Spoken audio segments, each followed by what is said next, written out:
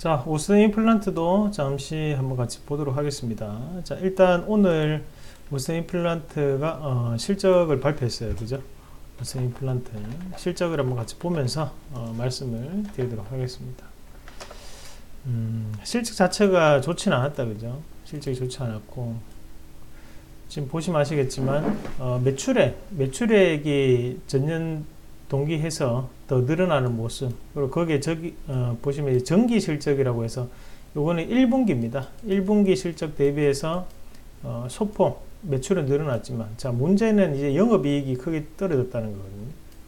전년 동기에서 영업이익이 5.6% 상승하는데 그쳤어요. 그래서 같은 2분기로 봤을 때는 어, 작년보다는 좋았지만 자 문제는 어, 이제 1분기 대비해서 영업이익이 너무 낮아졌다 어, 기업이라는 것은 이윤을 먹고 사는 게 바로 기업입니다. 어, 그런 측면에서 오늘의 이 하락 자체는 결국에는 영업이익이 낮게 나타났기 때문에 큰 폭의 하락세가 지금 나타나고 있다고 봐야 되는데 자 그러면 이 하락 자체가 이만큼 빠질 어, 뉴스인가 아니면 이 정도까지는 아닐 것 같은데 라는 생각이 드는 뉴스인가? 그것은 이제 이 기업에 대한 히스토리를 조금 한번 같이 보셔야 됩니다.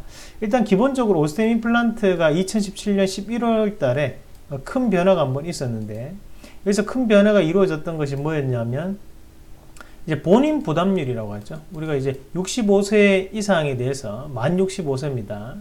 본인 부담률이 원래는 50%였는데 이것이 이제 30%로 줄어들었어요 한마디로 임플란트가 예전에는 한번 끼워 한번 뭔가를 우리가 소위 어, 대구치 어금니를 만약에 어, 끼운다 만들어 본다 그렇다면 약 200만원에서 한 300만원 가까이 했습니다.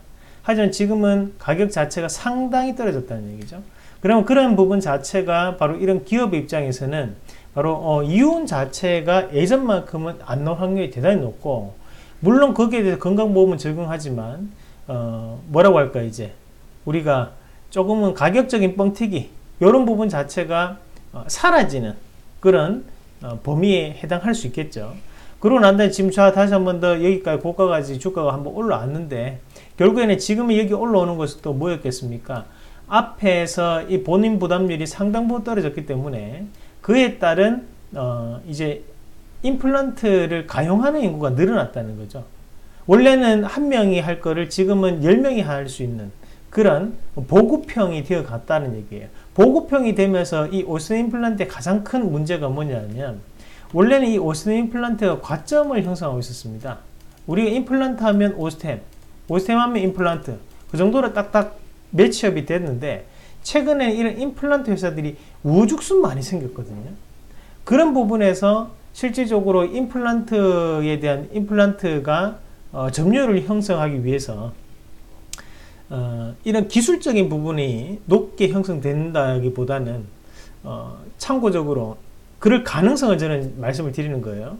이제는 동문에 대해서 라인에 대해서 그러니까 어, 이 원장이 어, 이 임플란트 회사를 선택을 할 때 기술적인 부분을 선택을 할 것이냐 그런 부분도 물론 있겠지만 어, 이 표현하기 상당히 힘든데요. 어, 요 라인 어, 요 라인이라고 생각되는 부분에서의 물건을 받을 확률도 있다라는 거죠.